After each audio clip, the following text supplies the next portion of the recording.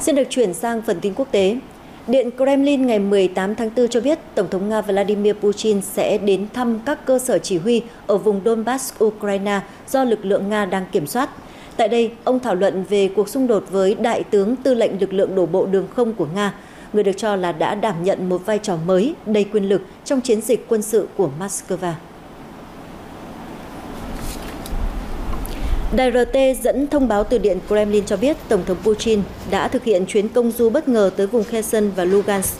Ông Putin đã đến thăm hai sở chỉ huy ở các vùng lãnh thổ của Ukraine mà Nga đã tuyên bố sát nhập vào năm 2022. Tại đây, nhà lãnh đạo Nga kiểm tra tiến độ của chiến dịch quân sự chống lại lực lượng Ukraine. Quân đội Nga đã rút lui khỏi thành phố Kherson vào tháng 11 năm ngoái và đang củng cố các vị trí của họ ở bờ đối diện ở sông Dnipro đề phòng một cuộc phản công của Ukraine. Chuyến thăm bất ngờ của Tổng thống Putin diễn ra khi Kiev được cho là đang chuẩn bị phát động một cuộc phản công lớn với sự tham gia của các xe tăng hạng nặng và xe bọc thép mới do phương Tây cung cấp.